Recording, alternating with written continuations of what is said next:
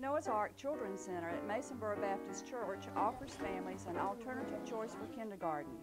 We provide a high quality academic program in a family oriented Christian environment that prepares children for their future academic success. We chose Noah's Ark because of the low ratios and the individual attention. Jackson has really thrived because of that. Thinking about kindergarten?